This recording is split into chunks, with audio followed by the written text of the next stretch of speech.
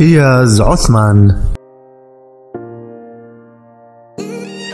من مواليد 21 أكتوبر عام 1994 ولد اللاعب إياز عثمان في مدينة القامشلي بالجمهورية العربية السورية يحمل اللاعب الجنسيتين السورية والألمانية.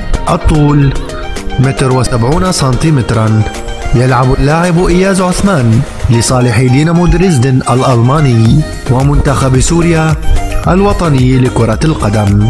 انضم إياز في عام 2008 إلى فريق أوسنابروك في ألمانيا.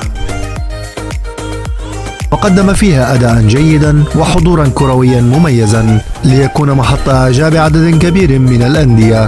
فقد مثل إياز عدة أندية في ألمانيا وهو في سن صغير من عمره.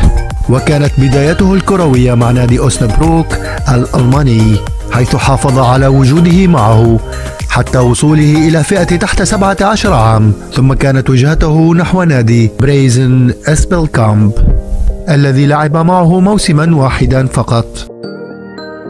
حيث انتقل بعدها إلى نادي فيدنبروك وتألق اللاعب معه كثيرا وذلك بإشادة من الفنيين والمخضرمين بالنادي. حيث لعب معهم مدة ستة أشهر. شارك خلالها في 19 مباراة بدور الدرجة الرابعة في منطقة غرب ألمانيا. ونجح اللاعب في هذه المرحلة بتسجيل ستة أهداف ولقي دعما كبيرا واهتماما. وبعد تجربة اللاعب المفيدة مع نادي فيدنبروك انتقل مدة الانتقالات الشتوية إلى نادي كولن الألماني ليمثل الفريق الرديف بناء على رغبة وأصرار الجهاز الفني للفريق الذي رصد مستوى إياز. في مباراة رسمية على بطولة الكأس والتي جمعت بين فريقي كولين وفيدنبروك حيث شارك إياز مع فريقه الجديد أساسيا في أغلب مبارياته الرسمية. وأظهر موهبة وتألقا متميزا مما جعل اللاعب مطلبا كبيرا لأغلب الأندية الألمانية. فكانت وجهته الكروية الأخرى